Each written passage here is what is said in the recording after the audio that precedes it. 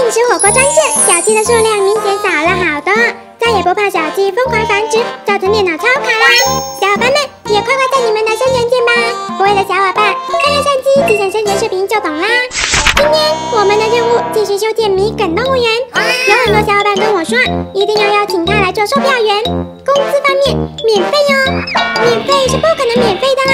姐姐那么土豪，工资一千颗钻石，包吃包住，而且我私人定制，帮你设计售票员城堡。哎，怎么回事？城堡好像有好多猪头，难道我去？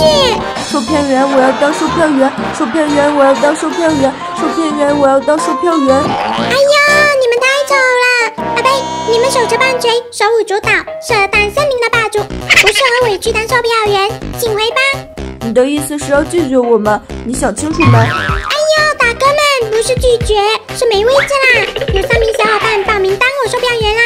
哼，兄弟们，他不让我们当售票员，那我们就当动物园的主人，抢啊抢！啊，可恶啊！光天化日之下明抢啊！问过我的大宝剑没？啊哒哒哒哒哒！为了帮小伙伴守住售票员的名额，本姑娘要使出揍小梅子的力气，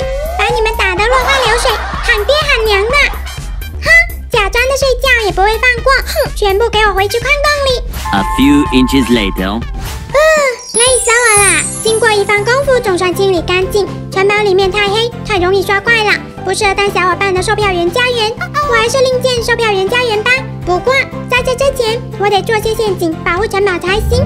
正好我旁边就是桃林，多收集点竹子，然后喂养熊猫，可以得到空心的竹子，这样就能合成地刺和生物感压板，和防僵尸一样，地面放满地刺，投入生物赶压板，夹错注意刷新。扎着扎着就狗呆了，可惜地刺数量有限，改天有空我再好好收集吧。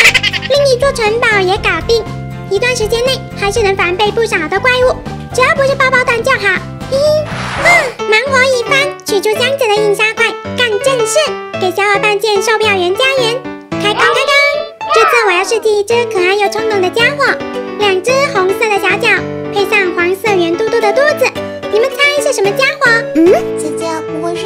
吧？啊，不是，是迷你世界里面的生物。迷你世界的生物有黄色的，那就是熔岩巨人。啊，熔岩巨人哪是黄色的？再看看，这像谁？这这，我知道，是一拳超人。哼哼，越猜越离谱，看我魔术吧！当当，就是可爱又冲动的当当。这么凶狠的设计，估计来米梗动物园玩的人都不敢逃票吧？里面我也装修好啦。做作业也行啊。那姐姐，我最关心的是食物大餐呢。嗯嗯，这个暂时还没有设计，慢慢来。等我设计完米梗动物园，再来安排美食街，售票员免费吃喝。哈哈，小伙伴们，你们想来当售票员吗？